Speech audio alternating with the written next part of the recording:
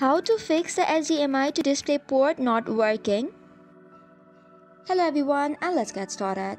On today's video, we'll be discussing about 4 such methods to fix the HDMI to display port connection issue. First of all, you need to power cycle your monitor. Turn off your device, unplug the power cord from the monitor and the wall socket. Disconnect all input sources connected to your device, wait for a few minutes, and then reconnect the power cord and turn on your device. Moving on to the next method, you have to check the cable for damage or loose connection. For this, disconnect the HDMI cable and plug it back again. Test the cable on a different monitor to ensure it is not damaged. If the cable does not work on the other monitor, you might have to replace the cable. If the cable works on a different monitor, the port might be damaged. Verify this by using a next cable. The other option is to use a compatible HDMI adapter or cable you have to make sure you're using a compatible HDMI adapter or cable.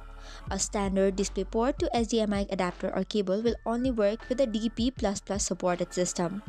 However, if your system does not support it, you will need an active HDMI adapter to establish the connection.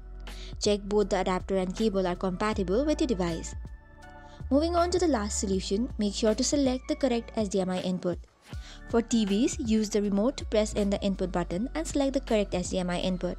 For monitors, press the monitor menu button, look for the input option within the display menu and select the correct HDMI input.